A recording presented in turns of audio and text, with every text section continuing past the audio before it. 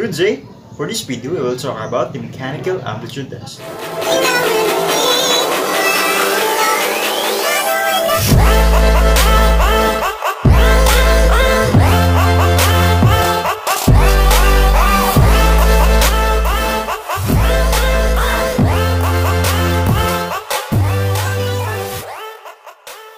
So, what is a mechanical aptitude test?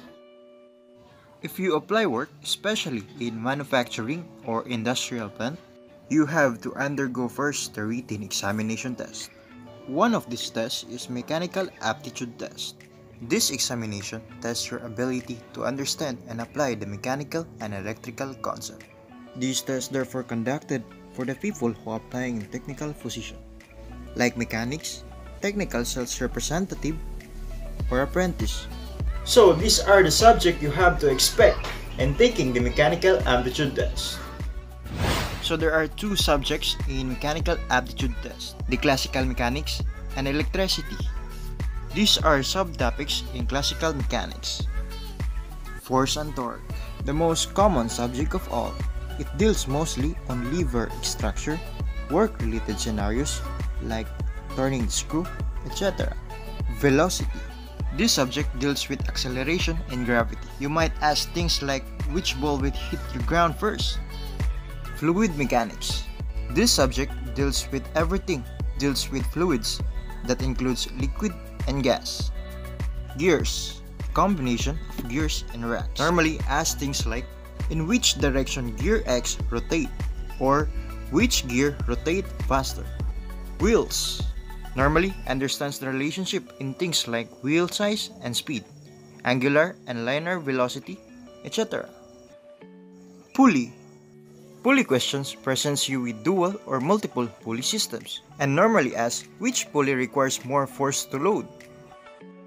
Optics, acoustics, and thermodynamics, the small subtopics that usually cover in a classical mechanics questions. They deal with light, sounds, and heat.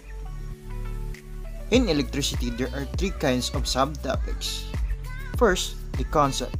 This subject deals with theoretical basis in electricity, such as measuring in units and Ohm's law. Second, the basic electric circuit, usually showing electric circuit and asks you when the circuit is closed or open. The last one, the series and the parallel circuit, also do with circuits but more complex and advanced, and asks you to analyze basis on the principle of the voltage, current, and resistance. Before anything else, I want to share some question and answer that I met in applying a technical position in the Philippines.